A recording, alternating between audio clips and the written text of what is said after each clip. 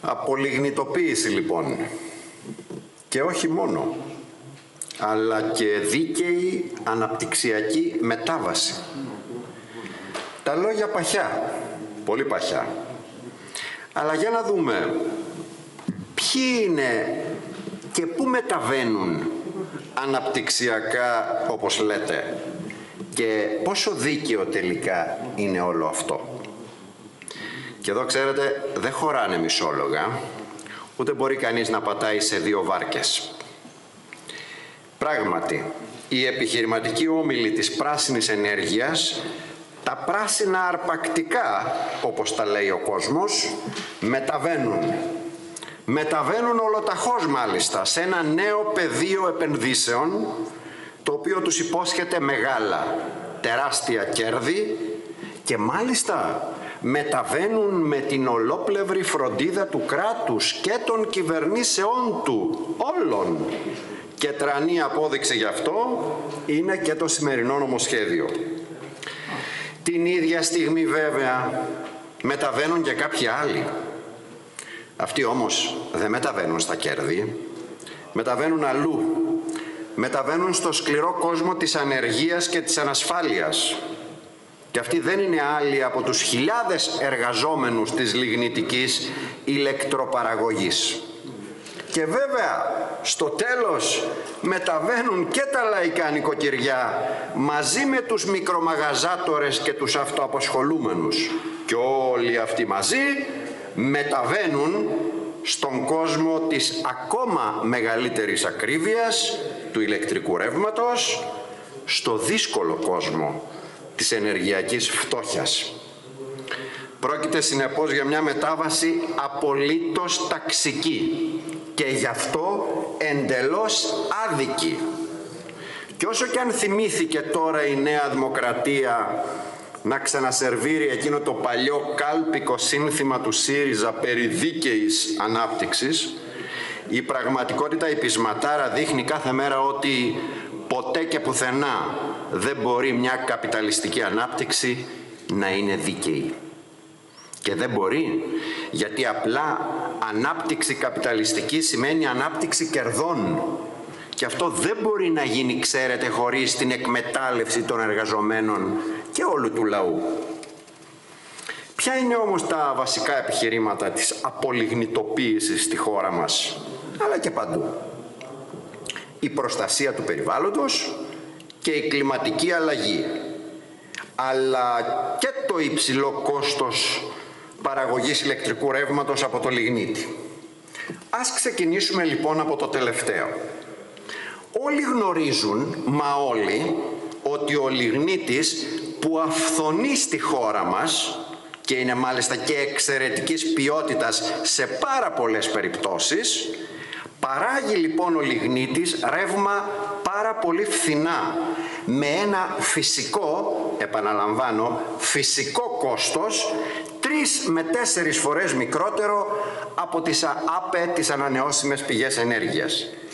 Τότε θα αναρωτηθεί κάποιος και πώς γίνεται ακριβώς αυτός ο λιγνίτης; Μα επειδή τον φορτώνουν με τα υπέρογκα τέλη ρήπων τον φορτώνουν με το κόστος διοξιδίου του άνθρακα, το οποίο μάλιστα κόστος υπολογίζεται τελείως αυθαίρετα, χωρίς κανένα κριτήριο και σε εκείνο πάντα το επίπεδο που χρειάζεται ώστε να καθιστά την λιγνητοπαραγωγή ασύμφορη. Αυτό είναι το κριτήριο. Πρόκειται για τα γνωστά, πανάκριβα, πράσινα τέλη που πληρώνει ο λαός με τους λογαριασμούς του ρεύματος κάθε μήνα για να βγατίζουν τα κέρδη των πράσινων αρπακτικών της ενέργειας. Όσοι λοιπόν επικαλούνται, και το επικαλείστε όλοι, το αυξημένο κόστος της λιγνητικής παραγωγής, κρύβεται ότι αυτό το κόστος είναι απολύτως τεχνητό και έχει εκτοξευτεί μέσα από το εμπόριο ρήπων και τα αυξανόμενα όρια διοξιδίου του άνθρακα που επιβάλλονται από την Ευρωπαϊκή Ένωση και τους διεθνείς ανταγωνισμούς που βρίσκονται σε εξέλιξη και δυναμώνουν. Κρύβεται όμως και κάτι άλλο. Κρύβεται ότι σήμερα υπάρχει η δυνατότητα με βάση την εξέλιξη της επιστήμης και της τεχνολογίας η παραγωγή της ηλεκτρικής ενέργειας από λιγνίτη να αφήνει και ένα ελάχιστο μόνο περιβαλλοντικό αποτύπωμα μαζί με το μικρό κόστος της παραγωγής. Τέτοια περίπτωση, και το ξέρετε πάρα πολύ καλά στην κυβέρνηση, αποτελεί μία από τις πιο υπερσύγχρονες μονάδες στην Ευρώπη. Ο ατμοηλεκτρικός σταθμός Πτολεμαΐδας 5 αξίας 1,5 δισεκατομμυρίου ευρώ, ο οποίος βρίσκεται στο στάδιο ολοκλήρωσης ο οποίος πληρώθηκε με χρήματα του ελληνικού λαού και των εργαζομένων και ο οποίος με τη λεγόμενη μετάβαση της απολιγνητοποίησης από το 2028 και μετά οδηγείται υποχρεωτικά στην αλλαγή χρήσης καυσίμου. Σε κάθε περίπτωση όμως ορυκτού α, και εισαγόμενου. Κάτι βέβαια που όπως καταλαβαίνετε αυξάνει και την ενεργειακή εξάρτηση της χώρας μας. Αναφερόμαστε όπως καταλάβατε και στο πρώτο επιχείρημα ή ακριβέστερα, να μην το πω επιχείρημα, τέχνασμα καλύτερα που προβάλλεται περί της προστασίας του περιβάλλοντος και της κλιματικής αλλαγής. Μάλιστα αυτή η επίκληση της καταστροφής του περιβάλλοντος ως ενός κεντρικού οικουμενικού προβλήματος που όντως τέτοιο είναι, δεν το αμφισβητούμε αυτή η επίκληση όμως γίνεται με έναν τέτοιο τρόπο αταξικό έξω και μακριά από κόμματα και πολιτικές ώστε να βγαίνει το συμπέρασμα το βολικό για σας ότι οι θυσίες του λαού δεν είναι απλά ανεκτές αλλά είναι και επιβεβλημένες. Μας λέτε δηλαδή, και όχι μόνο εσείς, από παντού πια δεν ακούγεται τίποτε άλλο, μας λένε πράσινη ανάπτυξη γιατί αλλιώς κινδυνεύουν τα παιδιά σας. Αυτό δεν λένε κάθε μέρα. Η αλήθεια είναι όμως τελείως διαφορετική. Η καπιταλιστική ανάπτυξη, όποια, όποια και να είναι, μόνο το περιβάλλον δεν προστατεύει. Γιατί ξέρετε θέλει πάρα πολύ θράσος να εμφανίζεις παραδείγματος χάρη την καρκινογόνα καύση των σκουπιδιών ως μια φιλοπεριβαλλοντική τάχα πολιτική διαχείρισης των απορριμμάτων. Και θέλει ακόμα μεγαλύτερο θράσος αυτή την καρκινογόνα καύση των απορριμμάτων να έρχεστε και να την προτείνετε σε ποιον; Να την προτείνετε στο λαό της Δυτικής Μακεδονίας. Ως εναλλακτική λέτε πρόταση στην καύση του λιγνίτη. Και όλο αυτό να το παρουσιάζετε ως προστασία του περιβάλλοντος. Η καπιταλιστική ανάπτυξη απαιτεί επίσης και με όλες τις κυβερνήσεις εδώ που τα λέμε τις έχει, απαιτεί όλες αυτές τις συνεχείς μεταβολές της χρήσης γης. Σε όφελος βέβαια πάντα πότε του κατασκευαστικού, πότε του τουριστικού και πότε του λεγόμενου πράσινου κεφαλαίου των φωτοβολταϊκών ας πούμε, των φωτοβολταϊκών συχνά πυκνά και σε πολύ έφορα μέρη γης και γενικότερα των ανανεώσιμων πηγών ενέργειας. Και το σημερινό νομοσχέδιο περιέχει, αν ανατρέξει κανείς, έστω και βιαστικά, περιέχει αρκετές τέτοιες διατάξεις πολεοδομικές και χρήσεων γης για τα εκατοντάδες χιλιάδες τρέματα των ζωνών απολιγνητοποίησης όπως τις λέτε. Και βέβαια δεν ξεχνάμε την ανάπτυξη την καπιταλιστική των βιομηχανικών ζωνών των πόλεων όπου βλέπουμε μεγάλες βιομηχανικές μονάδες να αναπτύσσονται και να λειτουργούν σε απόσταση αναπνοής από πυκνοκατοικημένες περιοχές με τη βιομηχανική ρήπανση να απειλεί ευθέως την υγεία και τη ζωή εκατοντάδων χιλιάδων εργαζομένων και κατοίκων. Η ΕΚΟ στη Θεσσαλονίκη και το θριάσιο πεδίο εδώ στην Αττική μας το θυμίζουν συνεχώς.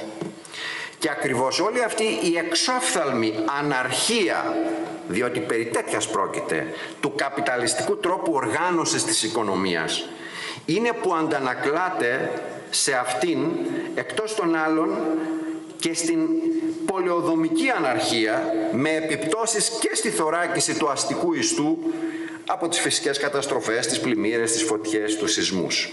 Η αλήθεια λοιπόν είναι και το συμπέρασμα είναι ότι η καπιταλιστική ανάπτυξη ούτε προστατεύει ούτε και μπορεί να προστατέψει το περιβάλλον. Και ο λόγος είναι απλός. Στο καπιταλισμό κριτήριο κάθε επένδυσης, όπως γνωρίζουμε, είναι το κέρδος. Και ο κάθε καπιταλιστής θα κάνει ό,τι μπορεί για να το αυξήσει αυτό το κέρδος. Και η αξιοποίηση του περιβάλλοντος και του περιβάλλοντος είτε ως φθηνής πηγής πρώτων υλών με υπέρμετρη όμως επίδραση στο περιβάλλον είτε ως σημείο απόρριψης υποπροϊόντων ή παραπροϊόντων είναι η φυσική πορεία των πραγμάτων για να εξασφαλίσει ο κάθε καπιταλιστής το δικό του καπιταλιστικό κέρδος. Και αυτά τα δύο τα υπηρετεί μια χαρά και πολύ καλά μάλιστα το σημερινό νομοσχέδιο, όπως θα έχουμε την ευκαιρία να αναφερθούμε εκτενώς στις επόμενες βέβαια συνεδριάσεις. Εδώ είναι που έρχεται αρρωγός αυτού του κέρδους και το αστικό κράτος, λειτουργώντας φυσικά πάντα υπέρ του συλλογικού συμφέροντος του κεφαλαίου. Γιατί πολύ απλά έτσι είναι φτιαγμένο αυτό το κράτος από τα γενοφάσκια του. Και ο χαρακτήρας και η αποστολή του ούτε αλλάζουν, ούτε μεταβάλλονται και αυτό το αστικό κράτος δεν φτιασιδώνεται, δεν γίνεται πιο φιλολαϊκό όταν αλλάζει απλώς μια κυβέρνηση όπως παραμυθιάζει συνέχεια τον κόσμο ο ΣΥΡΙΖΑ, κάτι βέβαια που δεν επιβεβαιώθηκε ούτε από την δική του κυβέρνηση. Για να δούμε όμως λίγο από πιο κοντά όλες αυτές τις, όπως τις αναφέρει η αιτιολογική έκθεση του νομοσχεδίου, τις διαβάζω από εκεί, από τις σχετικές επιταγές των ενωσιακών πολιτικών στο πλαίσιο του Green Deal. Τι είναι όλο αυτό; Πώς εξηγείται αλήθεια όλη αυτή η ασυγκράτητη αγάπη και το φλογερό ενδιαφέρον των καπιταλιστών για το περιβάλλον; Δεν πρόκειται απλώς για λόγια πράσινα μεν, αλλά πάντως λόγια, πρόκειται για ένα πολύ βολικό πρόσχημα και για μια πάρα πολύ καλή δικαιολογία των καπιταλιστών και των κυβερνήσεών τους. Γιατί με τη νέα πράσινη συμφωνία, το Green Deal, δεν επιχειρείται η διάσωση του περιβάλλοντος για το οποίο όπως αποδείξαμε αλλά και όπως βλέπουμε κάθε μέρα οι καπιταλιστές και το κράτος τους δεν δίνουν διάρα τσακιστή με τη νέα πράσινη συμφωνία επιχειρείται κάτι άλλο. Επιχειρείται η διαχείριση του προβλήματος της υπερσυσσόρευσης κεφαλαίου διεθνώς και στη χώρα μας. Αυτό υπηρετεί και η εκλογή Biden στις Ηνωμένες Πολιτείες, το ίδιο υπηρετεί και η λεγόμενη Ευρωπαϊκή Πράσινη Συμφωνία. Το ίδιο υπηρετεί φυσικά και η πολιτική όλων των αστικών κομμάτων στη χώρα μας που προωθούν το σχέδιο αυτό με υποσημειώσεις και αστερίσκους ή όχι. Με λίγα λόγια, το σημερινό Green Deal προσπαθεί να διαχειριστεί το ίδιο ακριβώς πρόβλημα με αυτό που επιχείρησε να αντιμετωπίσει το προηγούμενο New Deal, έναν αιώνα σχεδόν πίσω. Το πρόβλημα της υπερσυσσόρευσης κεφαλαίου καθώς σε πολλούς κλάδους της διεθνούς καπιταλιστικής οικονομίας λιμνάζουν κεφάλαια που δεν μπορούν να επενδυθούν κερδοφόρα, κεφάλαια τεράστια, οδηγώντας σε διαδοχικές διεθνείς κρίσεις όπως το 2008 και όπως και πριν από ένα χρόνο. Αφού Ξέρετε πάρα πολύ καλά ότι για να δημιουργηθούν νέες ευκαιρίες, να διαμορφωθεί πεδίο για κερδοφόρες επενδύσεις καπιταλιστικές, απαραίτητη προϋπόθεση είναι να απαξιωθεί, να καταστραφεί ένα τμήμα του υπάρχοντος κεφαλαίου. Και αυτόν ακριβώς το στόχο έρχεται και υπηρετεί σήμερα η απόσυρση των λιγνητικών σταθμών ηλεκτροπαραγωγής, των παραδοσιακών δικτύων μεταφοράς ηλεκτρικής ενέργειας, των αεροπλάνων και οχημάτων που κινούνται παραδοσιακά, με τα παραδοσιακά μάλλον καύσιμα, τη βενζίνη και το πετρέλαιο. Αυτό ζούμε, αυτό γίνεται αυτή τη στιγμή. Δεν είναι σύμπτωση λοιπόν ότι η προώθηση αυτής της πολιτικής συμβαδίζει επίσης και με τις αντεργατικές αλλαγές που προωθούνται για τον εργάσιμο χρόνο και για το μισθό, αλλά και με την κλιμάκωση της κρατικής καταστολής. Και εδώ να το πούμε ανοιχτά ότι έχουν τεράστιες, μα τεράστιες ευθύνες τα κόμματα που εδώ και 30 τουλάχιστον χρόνια συμφώνησαν και εφάρμοσαν την πολιτική της απελευθέρωσης στην ενέργεια που αποτελεί άλλωστε και τη βάση για τις σημερινές αρνητικές για το λαό εξελίξεις που φέρνει η απολιγνητοποίηση, η οποία βεβαίως δεν ξεκίνησε πριν προχθές, ξεκίνησε εδώ και μια δεκαετία και συνεχίστηκε με τον ίδιο ζήλο από όλες τις κυβερνήσεις της Νέας Δημοκρατίας, του Πασόκ και του ΣΥΡΙΖΑ. Είναι οι ίδιοι που τώρα προσπαθούν να χρυσώσουν στο λαό το χάπι της πράσινης ανάπτυξης που περιέχει βεβαίως και την απολιγνητοποίηση την οποία ο ΣΥΡΙΖΑ τη βρίσκει λίγο βίαιη, θα την ήθελε λίγο πιο μαλακή. Και όσες ενεργειακές κοινότητες κι αν προπαγανδίζουν σε άλλο γαλαξία και άλλα τέτοια, το κάνουν μόνο και μόνο για να κάνουν το λαό συνένοχο στη σφαγή του. Δίκαιη αναπτυξιακή μετάβαση, θα χρειαστώ μονάχα ένα λεπτό κύριε Πρόεδρε. Δίκαιη αναπτυξιακή μετάβαση λοιπόν των λιγνητικών περιοχών αυτό είναι το σημερινό νομοσχέδιο. Ένα νομοσχέδιο το οποίο έχει βεβαίως χαρακτηρίζεται από μια εξαιρετική ταξική συνοχή και συνέπεια καθώς με αυτό δημιουργείται μια ειδική οικονομική ζώνη για τους επιχειρηματικούς ομίλους οι οποίοι θα επενδύσουν καλούνται να επενδύσουν, να δούμε τι θα κάνουν σε αυτές τις περιοχές. Με το κράτος έτοιμο να τους χρηματοδοτήσει και μάλιστα αδρά, με το κράτος να τους εξασφαλίζει με κάθε τρόπο και ευθυνό εργατικό δυναμικό αλλά και ευθυνή πρώτη ύλη. Να λοιπόν τι σημαίνει απολιγνητοποίηση, σημαίνει τεράστια αύξηση της ενεργειακής φτώχειας, σημαίνει αυξήσεις στα τιμολόγια της τηλεθέρμανσης, σημαίνει χαμένες θέσεις εργασίας, χτύπημα των εργασιακών σχέσεων μέσα από τις λεγόμενες ειδικές οικονομικές ζώνες, καταστροφή του περιβάλλοντος φυσικά μέσα από την καύση των απορριμμάτων και βεβαίως στο τέλος μεγάλες, πολύ μεγάλες ανατιμήσεις στα τιμολόγια του ηλεκτρικού ρεύματος που θα τα πληρώνουν όλα τα λαϊκά νοικοκυριά. Τα όποια αντισταθμιστικά, ελάτε τώρα, είναι το τυράκι στη φάκα.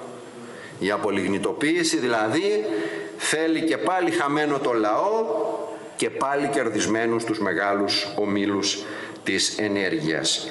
Καταψηφίζοντας βεβαίως επί της αρχής και επί των άρθρων το νομοσχέδιο θα θέσουμε το ερώτημα, το ρητορικό, υπάρχει διέξοδος; Ασφαλώς και υπάρχει.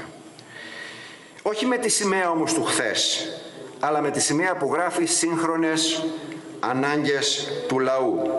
Και αυτή η διέξοδος βρίσκεται στην πρόταση του ΚΚΕ που κατοχυρώνει το ενεργειακό προϊόν ως κοινωνικό αγαθό αντί για πανάκριβο εμπόρευμα που είναι τώρα, αξιοποιώντας όλες, μα όλες τις εγχώριες πηγές ενέργειας και κάθε τεχνολογική εξέλιξη φυσικά που απαιτείται για την ολόπλευρη προστασία του περιβάλλοντος.